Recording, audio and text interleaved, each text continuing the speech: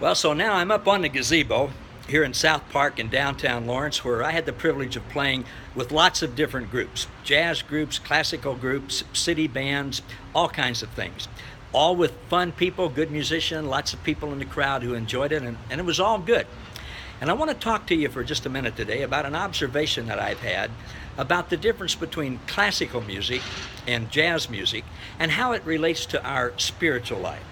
For our definitions today, I'm going to call classical music anything where you're, the musician is tied to the notes written on the page. You have to play exactly what's on the page, and you have no freedom to improvise or do anything different. That's I'm going to use that for my definition of classical music. Whereas in jazz music, you have total freedom to improvise within the structure of the key of the song and the other people you're playing with, but you create or you imp, imp, you uh, uh, just you ad lib, you uh, create what you're going to play, you improvise literally every note and everything you do.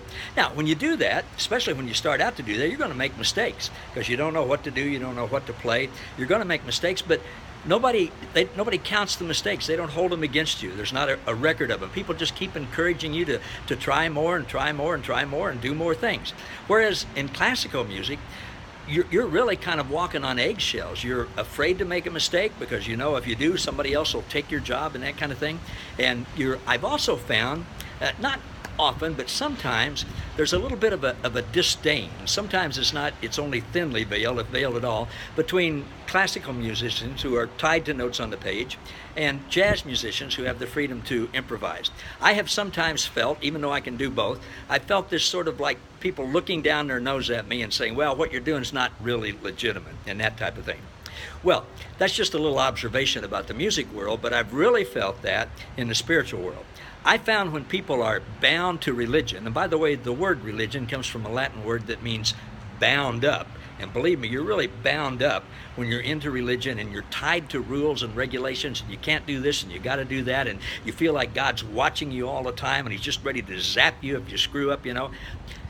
That's not the way God is. God is much more, if you'll use the, let me use the analogy, God is much more into jazz where he doesn't keep a record of the mistakes. He wants you to be free. He wants you to try things. He wants you to enjoy life and have the freedom to be spontaneous and to create like he does.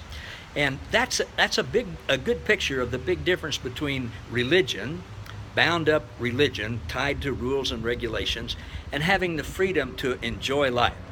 I've come to understand that God has given us all freedom he loves us. He's given us His grace, which covers everything in our relationship with Him. He's done it all.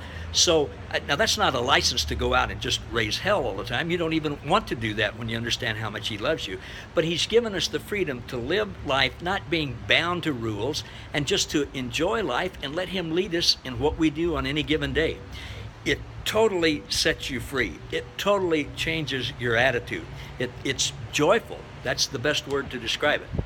So I hope you'll stay with me on this uh, journey and continue to join me for convertible conversations and learn more about how God has set us free to be free and to enjoy life.